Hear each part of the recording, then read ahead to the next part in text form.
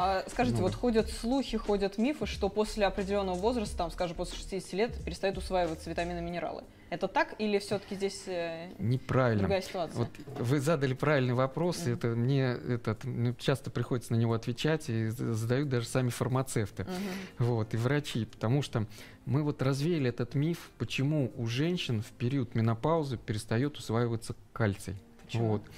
Потому что этот, в этот момент происходит э, эффект вымирающей деревни. То есть больше клеток умирает, чем рождается новых. М. И говорю, кальций от умерших клеток поступает в кровь. Возникает вопрос, куда этот кальций деть? По логике вещей он должен пойти на построение новых клеток костной Мгм, ткани. мгм. Но они-то не родились, и у, у организма встает проблема в этот момент утилизации кальция из организма.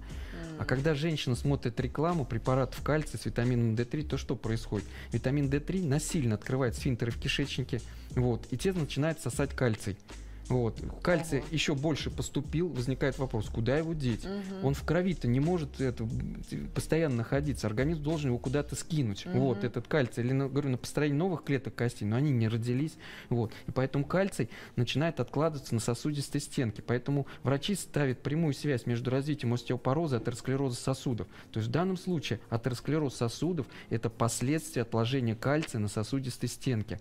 Вот. Мгм. вот остеомет лишен этого риска отложения кальция на сосудистой стенке. Вот это Да, его главное а вот достоинство. именно касательно нашего продукта сегодняшнего, Strong Immunity, то есть он будет хорошо, в принципе, усваиваться любым организмом даже после 60? Да, то есть этот, ну, там, я говорю, там кальция вообще нет в Strong Immunity. Да. Там есть трутневый расплод и витамин D3.